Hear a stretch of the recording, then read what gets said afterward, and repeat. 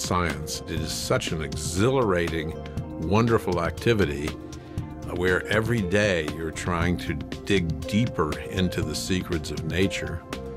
And every day, if you're lucky, you make a little bit of progress. Stanley Prusiner made more than a bit of progress. He discovered the prion, a lethal brain protein with secrets of its own. This is the simplest pathogen, and prions change their shape.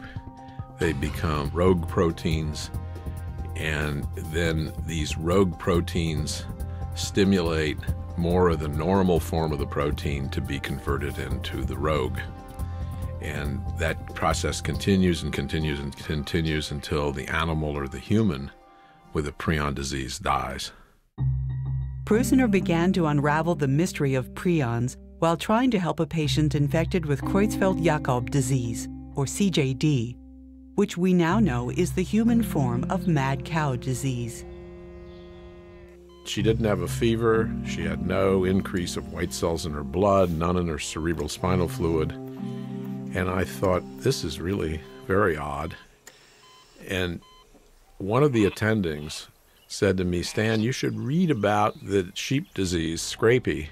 Scientists suspected a slow virus was the cause of CJD, scrapie, and similar mammalian infections, such as Kuru and mad cow disease, though this theory had yet to be proven. Undaunted, Prusiner was determined to define the molecular structure of the elusive cause of these brain diseases. I decided that with all my biochemical training that this might be a great project to undertake. But I truly expected that I would find an interesting virus. What he found instead was a wholly new idea, the rogue protein he termed prion. I didn't expect that I would find something dramatically new and different.